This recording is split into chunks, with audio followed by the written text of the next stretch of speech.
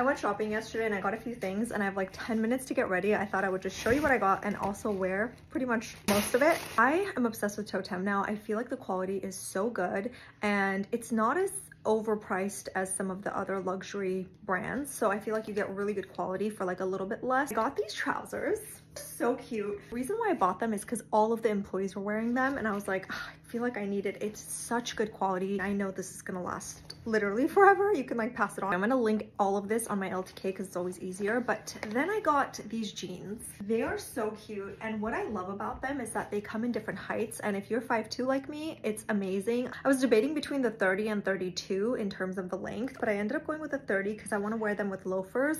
And I kind of like a little bit of the white sock showing. Lastly, I really wanted to buy a very good quality like an oversized t-shirt. When I saw this, I immediately fell in love because the fit is just perfect. These are the jeans. They fit so, so nicely. Love how it's just like a true classic straight leg. I do wish the t-shirt was slightly shorter. It's like a little too long, but I love the collar. I got these socks from Amazon specifically for loafers and they are seriously the best. I actually got a compliment on it yesterday and I was like, wow, that's interesting that someone noticed my socks. But you know, it's like hard to find like good thin kind of socks for loafers. I pair it with my loafers.